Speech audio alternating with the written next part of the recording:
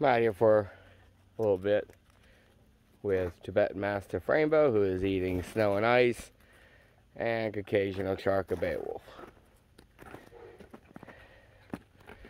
I was hoping to get them more playful, because Rainbow's been rolling around on the snow like she does. And now she's just rubbing the fence. there she goes. I love it when she does that. Just chomping on ice. what? What you doing, baby?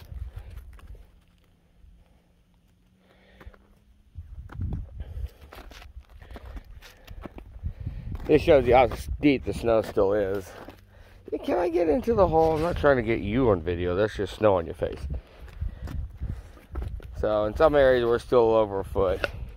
Over a foot easy. And then other areas it's been drifted away. And that's what you get being on a mountaintop. You get lots of snow drift.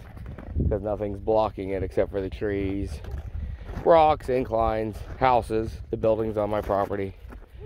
What? What you doing? What you doing, little boy? Oh, poor little boy. The rainbow gonna beat you up later, probably. Wimp.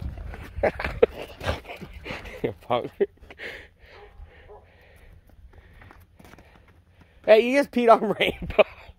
I don't know if I got that. Sorry if I did. Beowulf, you're a punk, dude. Rainbow, I think he peed on you. No, he missed. You're dry still. All right, have a great one, everybody. I'm putting these goofballs away, getting the next